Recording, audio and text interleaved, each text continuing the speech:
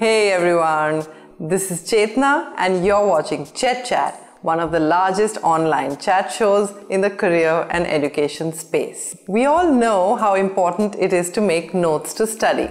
The focus of this video is on how to make notes using the best techniques appropriate for different situations. I recently did a video on the 10 scientific study tips and you liked that. So I said, hey, why don't I make a more detailed video giving you all the techniques on how to make the best notes to make you a star performer at your school or college. So in this video, I'm going to give you the best techniques for the five steps of note taking.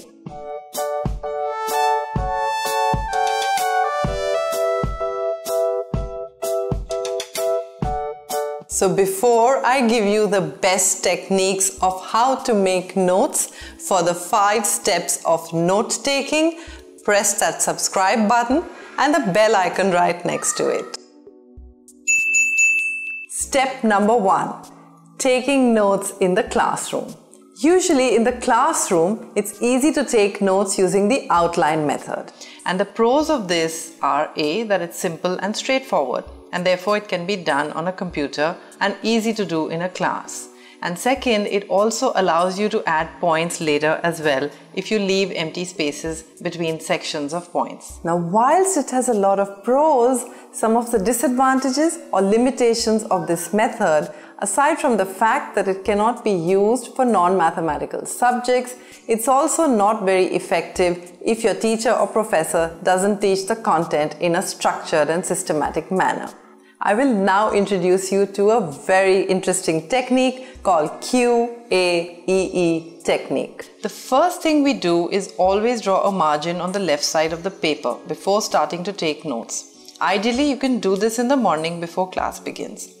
This is similar to the Cornell method of note taking that was devised by Walter Pauk, an education professor at Cornell University but we've modified the Cornell method by retaining just the left margin. I find that the summary section at the bottom was not getting fully utilized, so I decided to do away with it. Coming to the QAEE technique. Q for question, A for answer, E for example, and E for evidence. Let me explain. So for example, we're in a physics class and the teacher is talking about an introductory lecture into friction. So we start writing that friction is a force that opposes motion between any surfaces that are touching. And as the teacher continues to give examples about friction, we put them down and she gives evidence of what happens with friction. We put all of that down. And quickly when she asks that question in the exam, and ta-da, your answer is exam ready. Now that we've learned so many of these techniques to make notes in class, let me give you a few more tips. Tip number one is called signpost words. Every time you hear your teacher say these words, like first or remember or this is very important or finally, make sure you note down whatever she or he says after these words. Tip number two uh, ask your teacher to occasionally draw a diagram whenever you're not able to understand a concept and you think a diagram is possible. Request her or him to draw a diagram for you because we learn better with pictures. And tip number three is to carry a little pocket notebook in your back pocket when you go to college or school. Now, every time we're in school or college, we cannot carry our backpack with us and we can't take out that big heavy notebook to note down stuff. But sometimes you meet people in the hallways who give you some interesting ideas or concepts, or you're just sitting and thinking and you remember something. That's a good time to pull out that pocket notebook and make a quick note. Now, this is a million dollar tip that you're not going to get even at the biggest business schools. And after class, sit with your notes for 10 minutes. Reorganize them, put down some of the thoughts that are still in your head, and put down small post its with the questions that are still lingering in your mind. This simple technique will improve your retention and productivity by 80%. While making notes in class, make effective use of bullets. This, for example, could be a regular bullet. You can use an arrow for cause and effects. You can try a square for examples, a tick mark for important points. You could perhaps put a flag on the side to flag off a point that you want to double check or any other notation that you need. I find that using colored pens and highlighters while making class notes is very useful because when you want something to stand out at you, it does. Look at the page here. And if you want to highlight something particularly, you can go over it like this with a highlighter.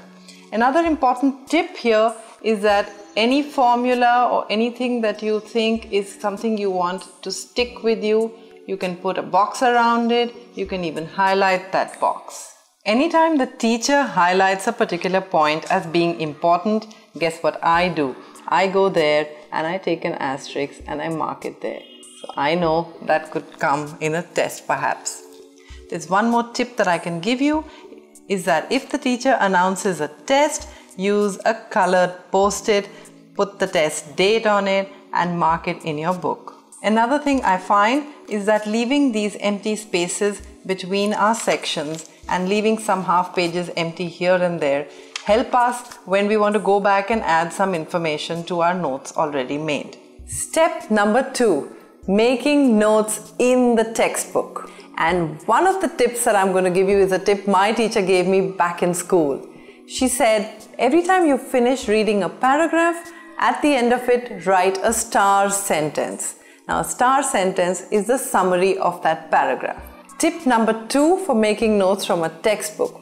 One of the national exams topper, in fact, he was on this show with us on Chet Chat. He told me that every time he reads a book, every single line that he reads, he asks himself, what is the potential question that can come from this line?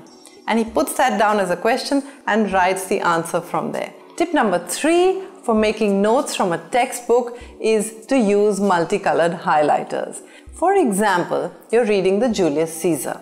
Now you know that in a particular sentence there could be information about a character sketch or in the next sentence there could be information about a plot or a theme or some conflict or some resolution.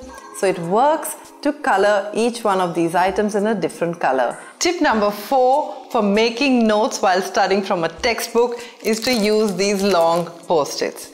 I would like to put them as bookmarks on questions wherever I think I need more clarification from the teacher.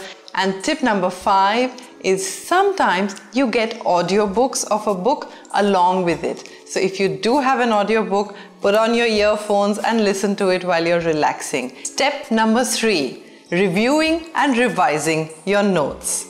Now this is the point in time where I would put on my headphones and listen to music. Rhythmic music with repetitive beats and no lyrics is known to help you while you study.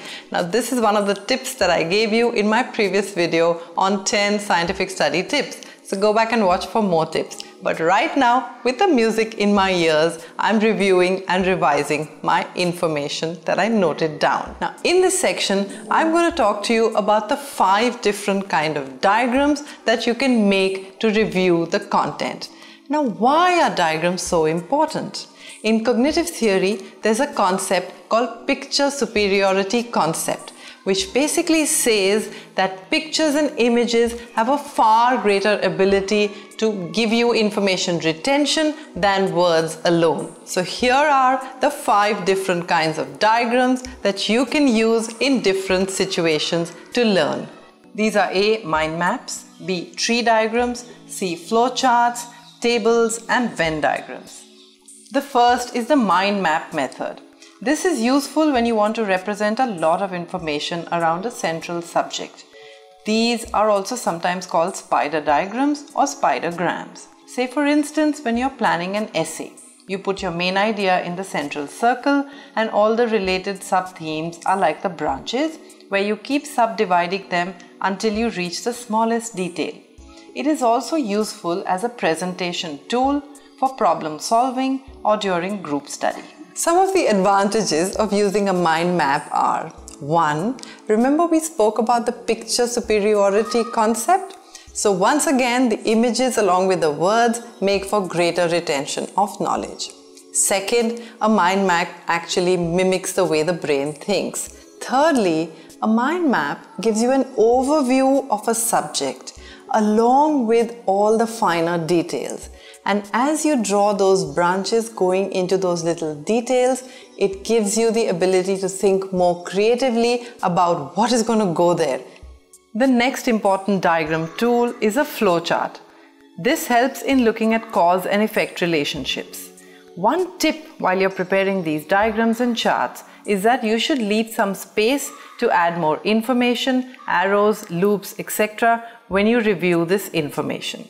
Now let's look at another diagram called the Venn diagram. These are very useful to visually help you categorize and group items, compare and contrast them. They help show the logical relationship between a collection of sets or groups of items. Another form of diagrams that is very useful are tables. Tables are useful when you're looking at differences between concepts, particularly between multiple concepts. For example, in physics, you want to look at differences between solids, liquids, and gases. Or in geography, you want to understand the differences between various types of landscapes like a rainforest, a savanna, or a tundra. Step number four recalling material that needs to be learnt.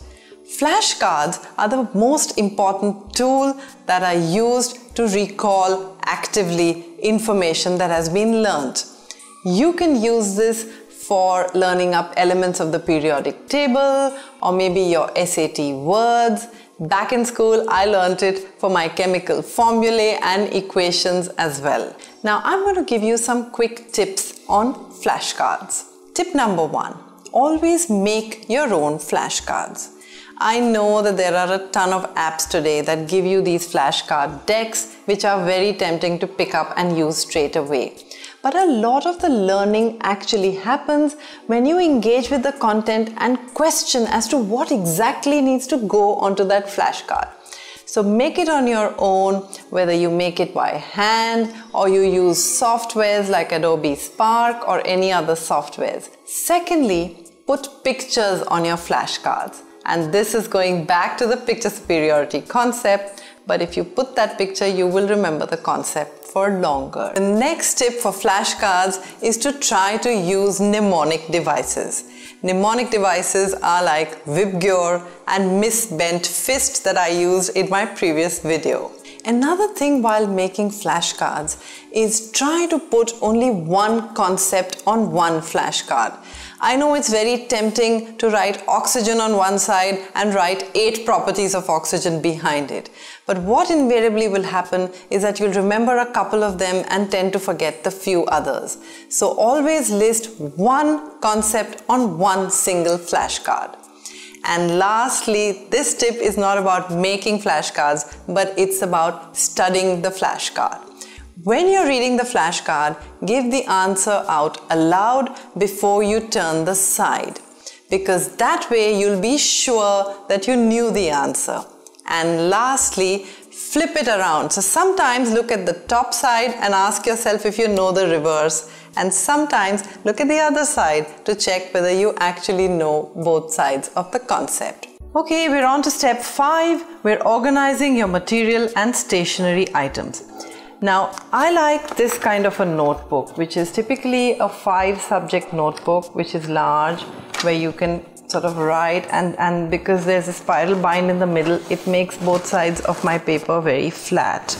You also get these in smaller sizes if you find them lighter and easier to carry with you when you go to school or college. This is very handy. It also has subject separators out here. Another thing you can do is that you can use these loose sheets which are punched on one side and you can put them into a folder so it helps you organizing your material and as you get new sheets you can keep putting them into the folder. Another tip that I'll give you that I find useful is having one notebook for the main subject and all the notes in it and having a smaller notebook for questions and practice papers. As far as stationery is concerned, this is my favorite pen. This is Sharpie. It's got a fine tip pen and you saw me writing in it. It writes very nice and bold. Also use colored pens, thin ones, handy about two or three colors at the most. Keep a couple of pencils, erasers and uh, post-its, thin post-its and the broader post-its. And for writing, I like this 0.5 pen. A lot of people like the 0.35 pen as well uh, but I'm happy with this 0.5 pen and a 1.0 uh, millimeter pen is useful when you want to write thicker bits a short ruler and yeah you're good to go and you squeeze all of them into a little pouch and take it with you to class so that's all from me. I hope that benefited you and together with the previous video, I hope you're going to crack your forthcoming exams. So keep writing in, like the video, share it with your friends, press that subscribe button and the bell icon right next to it and happy watching.